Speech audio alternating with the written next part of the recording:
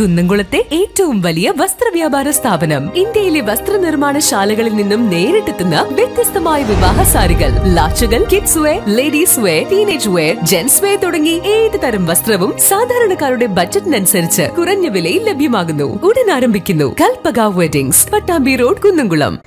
S S L C plus two പരീക്ഷകളുടെ നടത്തിപ്പിന് മുന്നോടിയായി സ്കൂൾ ഓഫീസുകൾ തുറന്നു. സ്കൂൾ ശുചീകരണത്തിനും തുടക്കമായി. അടുത്ത അധ്യയന വർഷത്തിന് മുന്നോടിയായുള്ള അറ്റകുറ്റപ്പണികൾക്കും മറ്റ് ക്രമീകരണങ്ങൾക്കുമായി എൽ പി യു പി സ്കൂളുകളും തുറക്കാൻ നിർദ്ദേശം നൽകിയിട്ടുണ്ട്.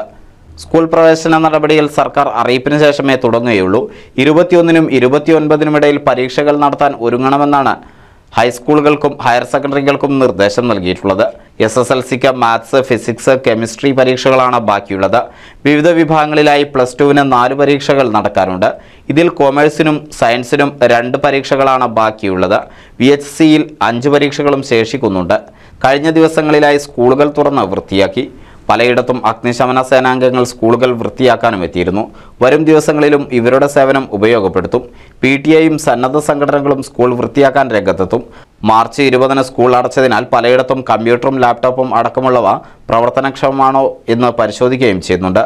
പതിവ് അറ്റകുറ്റപ്പണിയും ജലസ്രോതസ്സുകൾ വൃത്തിയാക്കലും വരും ദിവസങ്ങളിൽ നടക്കും. കോവിഡ് കെയർ സെന്ററുകളായി പ്രവർത്തിക്കുന്ന സ്കൂളുകൾ പൂർണമായും അണുവിമുക്തമാക്കും. ഈ മാസം ഇരുപത്തിയൊന്നിന് പരീക്ഷ നടത്താനാകുമെന്നാണ് പ്രതീക്ഷ. പരീക്ഷ എഴുതുന്ന കുട്ടികളുടെ കണക്കുകൾ ശേഖരിക്കുന്നുണ്ട്.